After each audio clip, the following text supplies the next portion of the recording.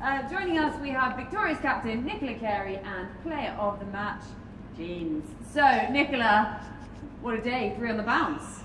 Yeah, three in a row. Um, who would have thought after our start um, in the first game? But yeah, we're going we're going well now, and to win three on the trot and um, heading into sort of the back end of the tournament, we'll, we'll definitely take that.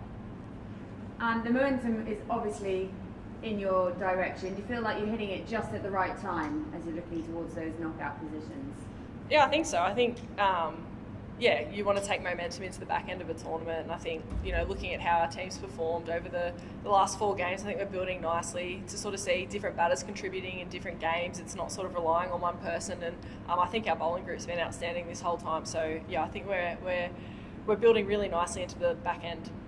Yeah, and Jeans, you went out there, you did your thing. We all saw what you could do today. How did it feel to be out there and score that half century? It feel amazing because um, uh, yesterday, eh, the last game, I pick up of um, how Nick bat and how aggressive of um, she bat, and I just pick up and then um, play my my own game. And is that something you feel you're really learning as you go along? You say you're picking up from the likes of Nick, and you've obviously got like Bismah out there as well. So you're just sort of picking bits from everyone's game and absorbing that. So um, I observe um, how they bat, how they um, like calling everything, the rhythm of the game. And what was it that just clicked for you out there today? What worked for you out there today? Why was today so good? Why were you so good today? Why are you so amazing? Uh, because I think just play my own game and um, just uh, have a passion for like uh, get the meaning of the bat. Yeah, and Nick, you seem to be, you know, being captain's not going too badly for you. This is something you're going to carry on into the future, hopefully. Look, I wouldn't have thought so. Um, very happy to hand back over the reins to. I mean, I would have given it back to Bismah had she, yeah, had she wanted it, or you know. But yeah, no, I think I'm happy to sort of um, sit back and blend in. I've actually been. I would say that Soph Eccleston's my co-captain at the minute, so um, she's been very helpful out in the field. So um, yeah, it's a bit of a joint effort at the minute. But you're enjoying it.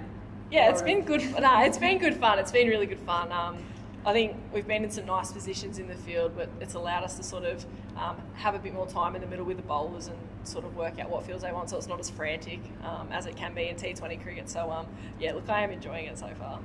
And as you look ahead to your final game before knockouts potentially, all that kind of thing, what would the preparations be like from here? Uh, well, we got a game again tomorrow night, so um, not a lot of time in between. But um, yeah, we'll, we'll get through that game, and then I think we've got what a couple of days off um, after that. So um, yeah, we'll, we'll reassess after that, and there might be some training there. Maybe it'll be days off. The days off seem to be working for us at the minute. So um, yeah, we'll just reassess after tomorrow night. Yeah, and we had Jean saying that she's learning from the likes of you, but how nice is it for you to be able to pass on your knowledge to different people from around the world, but also pick up from them? I feel like I'm learning off them. Like I was watching you bat today. Like I feel like Jeans has been hitting the ball beautifully this whole tournament. Um, the runs probably haven't been there just yet, but yeah, you stuck in there, um, and it came off tonight. And there's some incredible shots. Even um, I think it was Yasmin from Namibia.